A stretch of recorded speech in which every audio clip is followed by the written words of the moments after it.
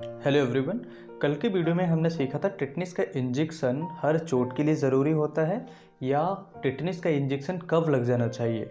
आज इस वीडियो में हम सीखेंगे कि अगर टिटनिस का इंजेक्शन लग जाता है एक बार किसी को तो दूसरी बार उसको इंजेक्शन कब लग जाना चाहिए?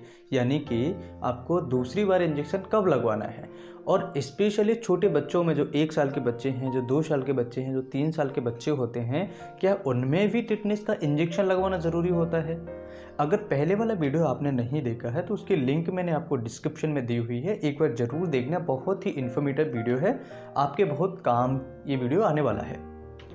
अब हम बात करते हैं कि इस वीडियो में कि आपको पहला इंजेक्शन लगवाने के बाद में दूसरा इंजेक्शन कब लगवाना है। मान लीजिए आज आपने एक वैक्सीन लगवाया, टिटनिस का एक इंजेक्शन लगवाने के बाद में आपको दो महीने बाद फिर से अगर इंजरी हो जाती है, फिर से अगर आपको कट लग जाता है तो क्या वास्तव में दो महीने बाद आपको इंजेक्शन लगवाना है?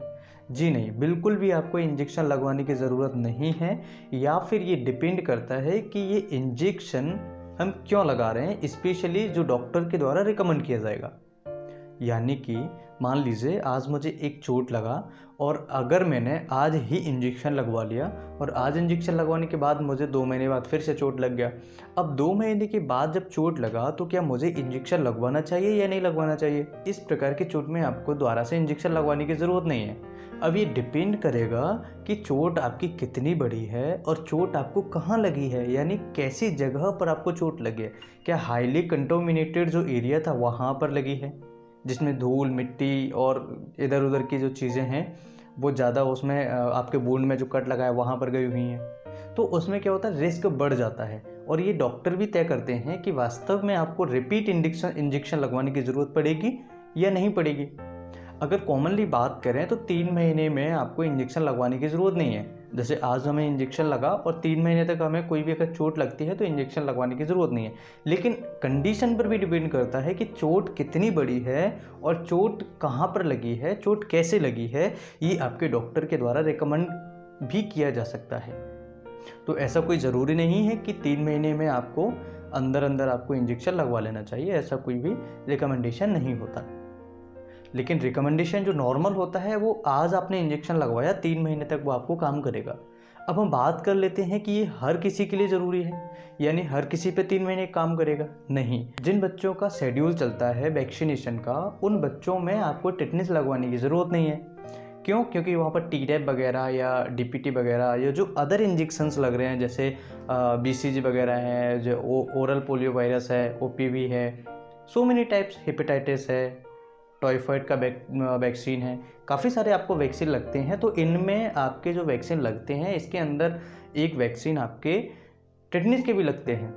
तो यहाँ पर आपको ध्यान रखना है, अगर बच्चों में, चाहे वो एक साल का हो बच्चा, चाहे वो छः महीने का हो, चाहे बच्चा आपका दो साल का हो, चाहे बच्चा आपका तीन साल का हो, या दस साल का बच्चा हो, या पंद्रह साल का बच्चा हो।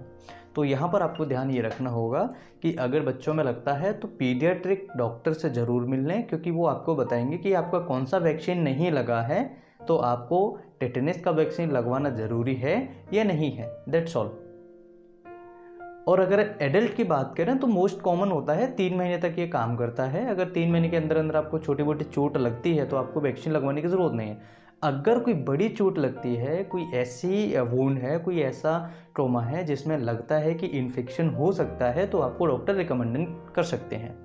ये है आज का टॉपिक मेरे हिसाब से ये टॉपिक आपका क्लियर हो गया होगा। अगर आपको अच्छा लगे तो वीडियो को लाइक ज़रूर कर देना और अपने दोस्तों के साथ ज़्यादा से ज़्यादा शेयर कर देना, जिससे और भी लोगों का भला हो सके। और मेरी कल वाली वीडियो, यानी लास्ट वाली वीडियो ज़रूर देख लेना, जो, जिसकी लिंक मैंने आपको डिस्क्रिप्शन में दे दी है।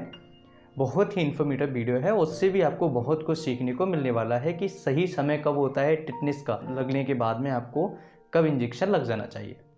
तो हम फिर मिलेंगे एक नई वीडियो में। इसी तरीके से नए टॉपिक में। तब तक के लिए थैंक यू फॉर वॉचिंग